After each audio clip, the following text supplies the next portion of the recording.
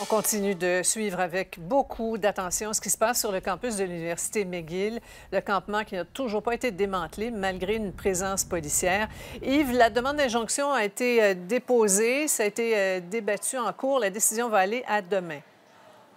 Exactement, Sophie. Malgré euh, ce soir, ce temps maussade, cette pluie, voyez que les manifestants sont toujours nombreux ce soir par centaines sur le terrain de l'Université McGill. Effectivement, tout le monde est en attente de, cette décision du juge sur l'injonction provisoire qui sera rendue demain matin. Et on sait que les deux étudiants de l'Université McGill qui ont embauché un avocat souhaitent euh, euh, démanteler en quelque sorte ce campement, Sophie, qui compte 80 tentes. Et surtout, on ne veut aucune manifestation dans un périmètre de 100 mètres des bâtiments de l'Université McGill. Euh, à ma droite, Sophie, regardez encore ce campement. C'est assez imposant. Hein. Surtout, il est clôturé. On a l'impression que c'est vraiment un petit bunker. Ça a des allures de forteresse. Ils résisteront à la police. Ils l'ont encore répété aujourd'hui si la police débarque. Quelques manifestants rencontrés tantôt.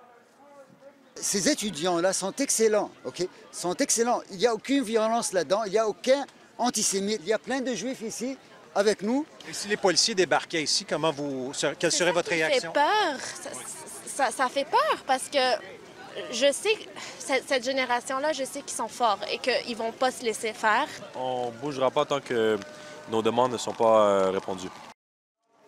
Et pendant qu'on vous montre ces images en direct ce soir, vous dire qu'il y a eu énormément de réactions tant à Québec qu'à Ottawa.